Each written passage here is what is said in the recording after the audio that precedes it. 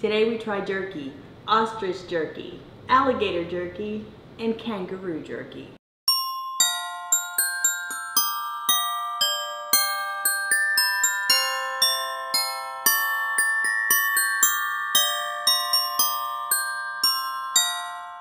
All right guys, today I have a special, today I have a spec, what?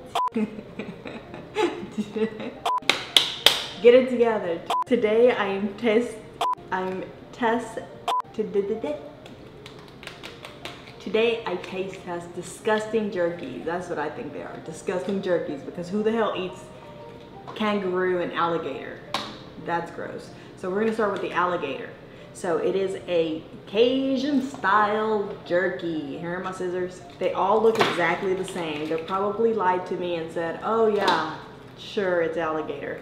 It's probably all just beef jerky. For those of you guys that don't live in the US and don't know what jerky is, it is a dried type of meat. Usually it's beef jerky. This is it, just a dried piece of meat. This one is my alligator one.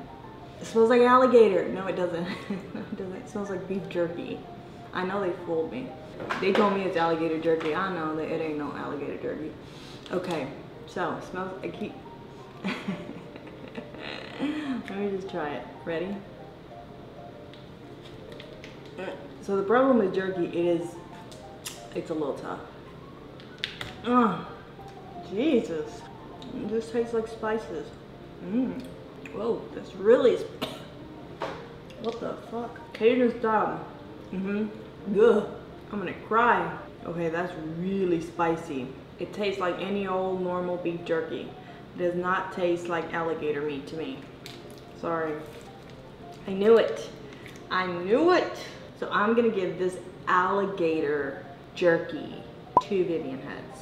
Okay, so now let's taste test kangaroo. Who would kill a beautiful kangaroo to make dumb jerky? Who would do that? Kangaroos are such cute animals. Hop on out of here. Hop on out of here, guy. I'm trying to eat you. It looks just like the last one. I'm telling you, this is all, ooh, this one smells different. This one smells, it doesn't smell spicy or anything. Mmm. Oh, poor kangaroo. Mmm. That's really nice. I actually like it.